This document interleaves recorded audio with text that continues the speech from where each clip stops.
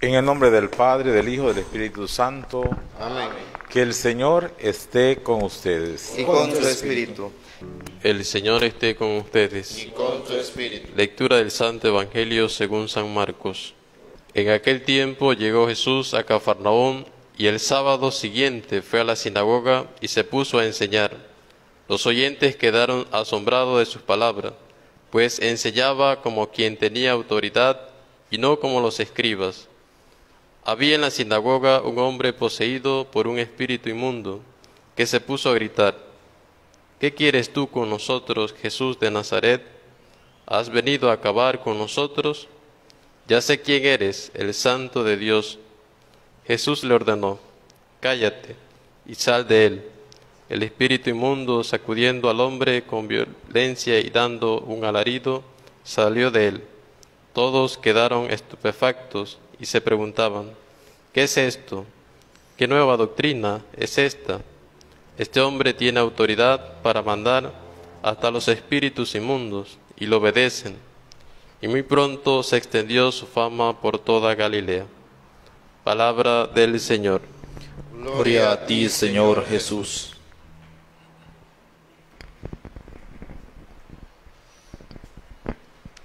Queridos sacerdotes, Padre José Juan, Padre Anastasio, queridos seminaristas aquí presentes, queridos hermanos que nos siguen a través de Radio Veraguas, AM y FM y a través de las redes sociales de la diócesis de Santiago de Veraguas. Hoy es interesante el Evangelio. Nos presenta a Jesús en Cafarnaúm. Y lo interesante es la expresión que de quienes lo escuchan. Este nos habla con autoridad. Ciertamente Jesús venía a cumplir una misión. Ciertamente va a encontrar muchas situaciones difíciles. Los fariseos, los grupos políticos, una enseñanza tradicional. Jesús viene a enseñarnos una doctrina nueva, pero se caracteriza por ser una autoridad que viene a cambiar, viene a cambiar una doctrina. No lo esencial, lo esencial permanece, sino a lo largo de los años los judíos habían asumido tantas tradiciones y costumbres que imponían a los demás. Por eso Jesús, toda la enseñanza de Jesús va a ser una crítica constante sobre actitudes de los fariseos que imponían cargas, imponían cargas y que ellos no eran capaces de mover con un dedo. Entonces por eso Jesús tiene que enseñar una esa doctrina que nos va a dejar como un legado para toda la humanidad y especialmente para nosotros los cristianos, la ley del amor. No era esa la doctrina que imperaba, era la venganza, era el ojo por ojo y diente por diente, era el, el, sábado como lo más sagrado que no se podía ni siquiera curar a nadie, pero eran normas que habían impuesto los hombres, por eso Jesús habla con autoridad, porque quiere imponer o enseñar la doctrina nueva. Jesús habla con autoridad porque es hijo de Dios y ciertamente es Dios. Y por eso tiene la autoridad de Dios. Y por eso nos enseña como Dios. Es importante esto. Él nos enseña como Dios a nosotros. No es un hombre cualquiera. No es un Mesías guerrillero. Es el Hijo de Dios que viene a enseñarnos. Por eso tiene autoridad. Porque tiene todo el poder de Dios. Y por eso encontramos que, que, calma las tempestades, que expulsa a los demonios, que resucita a los muertos, que cura a los enfermos, que le da vista a los ciegos, que hace caminar al cojo, porque tiene autoridad, porque es Dios. Es un segundo elemento que nosotros no tenemos que olvidar, que ese Jesús, Dios, vino a la humanidad, se quedó con nosotros, y que precisamente viene a enseñarnos que Él estará con nosotros todos los días hasta el fin del mundo. Y eso es tan importante para nosotros porque el temor, el miedo que las personas tienen es sentirse solo. Cuando sentimos miedo en nuestra vida es porque estamos solos. Y es porque no tenemos a Dios. Jesús ha dicho que se quedará con nosotros todos los días hasta el final de los tiempos y nosotros nos preocupamos por un trabajo, nos preocupamos por, por un dinero, nos preocupamos por tantas cosas materiales. Cuando nosotros sentimos que Jesús está con nosotros y que si Jesús quiere que nosotros permanezcamos haciendo el bien, porque Él está con nosotros, pues se hará. Y si no es así, pues estamos en las manos de Dios. Entonces, eso tiene que darnos a nosotros mucha paz, porque tenemos la autoridad, las palabras de Jesús, que Él estará con nosotros todos los días hasta el fin de los tiempos. Y que por lo tanto no somos nosotros eh, seres solos, aislados, sino amados por Dios. Jesús hablaba con autoridad. ¿Y por, qué, ¿Y por qué Jesús hablaba con autoridad? ¿Cuál era la autoridad de Jesús? No solamente era su persona, que supongo que era una persona imponente, una persona que llevaba a, a, ese respeto, sino porque también sus palabras iban acompañadas de su ejemplo. Eso es importante. Jesús caminaba, o sea, se dedicó a predicar el reino de, los cielos. No, en aquel tiempo no existían ni aviones, ni carros, nada, a pie. Y así lo hizo, caminaba de ciudad en ciudad. Imaginemos el cansancio de Jesús para anunciar el reino de Dios. Imaginemos cuando nos enseñaba sobre la humildad, lo humilde que era Jesús. Imaginémonos cuando nos sobre el servicio, su capacidad de servir a los demás. Y nos lo enseña en la última cena. Entonces Jesús, sus palabras iban acompañadas de sus ejemplos. Yo siempre he dicho que la sociedad actual el mundo actual, la crisis que hay, decimos crisis de valores, crisis del otro, la crisis que hay es crisis de autoridad. Esa autoridad muchas veces no se da en el hogar. Los padres no tienen autoridad sobre los hijos. Han perdido la autoridad. Muchas veces eh, se hablan cosas feas de las personas. Y eso precisamente les lleva a perder autoridad. Ciertamente, como le he dicho, no, no somos nosotros para calumniar ni injuriar. la calumnia es cuando uno dice cosas falsas. Y la injuria cuando uno dice cosas que son verdad, pero que los demás no tienen por qué saberlo. Entonces, no estamos nosotros para injuriar, para, eh, para calumniar a nadie, no. Sino que la autoridad es tan importante. Pero esa autoridad tiene que estar acompañada de precisamente del ejemplo.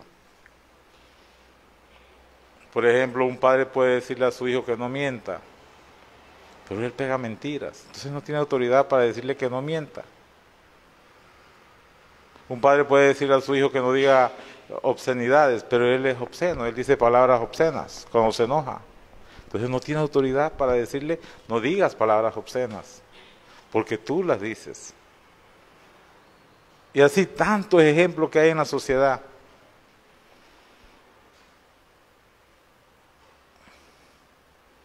Podemos señalar también la falta de respeto que hay, primero hacia los padres, luego hacia las otras personas, hacia los abuelos, hacia los tíos, hacia las personas cercanas, hacia los educadores, hacia las autoridades policiales, por ejemplo, hacia el gobierno. O sea, hay una falta de autoridad. Y Jesús nos viene a enseñar que la autoridad es importante. Enseña con autoridad. Y, los padres de familia cumplen un papel importante. La familia cumple un papel importante en la sociedad. ¿Cómo sanear la sociedad? Con la familia. Pero la conciencia de que Dios está con nosotros. La conciencia de que Dios no nos abandona, de que Dios está en medio de nosotros. Eso es importante. Nosotros no estamos solos. Dios es el que guía nuestra historia. Nosotros estamos aquí. Somos cristianos, somos creyentes, porque Dios ha permitido esa gracia especial. Nosotros no somos cristianos y creyentes porque, bueno, es que nosotros eh, decidimos o nuestros padres decidieron. No, es una gracia especial. Y como le decía, ese Dios no nos abandona, estará con nosotros todos los días hasta el fin de los tiempos. Pero nosotros tenemos también la cercanía, por ejemplo, de nuestra Madre María. Tenemos la cercanía de los ángeles, santos ángeles custodios que nos protegen. Pero tenemos la cercanía también de Jesús, que en cada Eucaristía se nos da. Pero ¿cuántas personas, por ejemplo, la Eucaristía les aburre? ¿Cuántas personas, por ejemplo, no, no les atraen las cosas de Dios? Y allí también podemos nosotros preguntarnos, nosotros los consagrados, ¿somos nosotros lo suficientemente, presentamos este mensaje del Señor lo suficientemente atractivo? ¿Presentamos este mensaje del Señor lo suficientemente con la autoridad de Jesús? ¿O muchas veces enseñamos en nuestra doctrina? Y muchas veces en la humildad se nos salen nuestras pasiones, nuestra ira, nuestro orgullo, nuestros celos. Qué importante es que nosotros somos servidores. El sacerdote es un servidor. ¿Y cuántos sacerdotes les gusta muchas veces ser famosos? Que lo reconozcan. ¿Y cuántas veces, aunque sea mentira, les gusta incluso transmitir mentiras? O sea, estamos en las cosas de Dios. No podemos hacer eso. Entonces, todos, tanto el laico, el matrimonio, la persona que cree en Cristo, la persona que busca a Dios, tiene que tener conciencia que al único que sigue a Jesús, es al único que sigue. Y que el Señor pone instrumentos para, para que le enseñen el camino correcto. Pero que no nos podemos quedar con el instrumento. Tenemos que llegar a Jesús. Tenemos que buscar a Jesús y sentirlo presente en nuestra vida. Y sentirlo presente en cada día, especialmente en la Eucaristía, en los momentos de oración. No hacer la oración porque nos corresponde, no hacer el rosario porque nos corresponde, ir a la misa porque nos corresponde, rezar el ángulo porque nos corresponde, la coronilla o la hora santa porque nos corresponde, sino que de verdad sea un encuentro personal con Jesucristo. Señor Jesús, tú estás aquí presente. Señor Jesús, tú nos has invitado que donde dos o tres estén reunidos en tu nombre, tú estás aquí presente, tú estás allí presente y sentir la presencia de Dios cada día, en cada momento, en cada circunstancia de nuestra vida.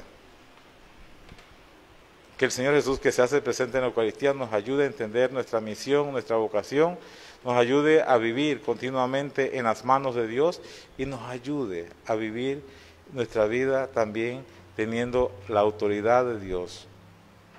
A los padres que tengan autoridad sobre los hijos, a los educadores que tengan autoridad sobre aquellos que están en sus manos para educar, a, a las autoridades que también sepan gobernar con autoridad y que sigan adelante con la misión y el empeño que Dios le ha encomendado. Eso es importante y pidamos pues que sintamos siempre en nuestra vida la presencia del Señor. Que así sea. Amén. Que el Señor esté con ustedes. Y con tu espíritu. Y la bendición de Dios Todopoderoso, Padre, Hijo y Espíritu Santo, descienda sobre ustedes y les acompañe siempre. Amén. Hermano, nuestra celebración ha terminado. Podemos ir en la paz del Señor.